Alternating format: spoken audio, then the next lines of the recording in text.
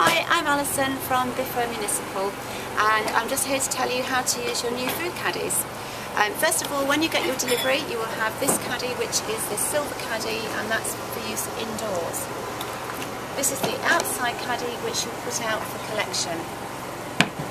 With every caddy you'll also have a roll of compostable liners to get you started.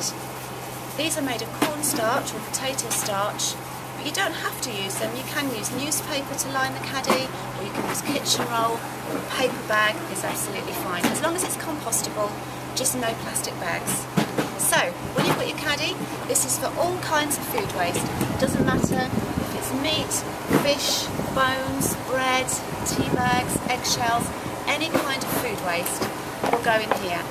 Then you'll simply tie up your bag or roll up your sheet of newspaper and pop it into the outside caddy.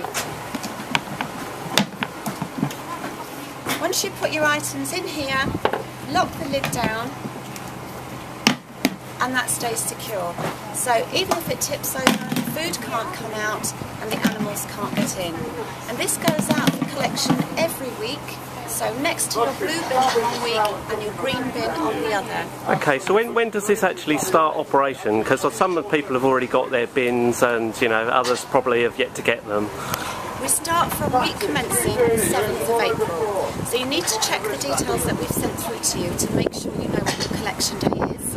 Yeah. And then put it out on that week. So okay. not before please. Please wait until we get our new vehicles which are split bodied and then we can collect the food waste alongside your refuse Okay, and, and what about these uh, disposable plastic bags? Because you, you get some of these sort of recycling bags when you get the bins, but in, in the future, where can you get them from? Cause these are compostable, as I say, these are not plastic bags. You right, yeah, sorry. Any supermarket, um, places like, I think Savers sell them, you can also get them online. Um, many places sell them, and you just need to shop around to get the best price. Well, thank you very much, that's very helpful. Thanks thank you, bye.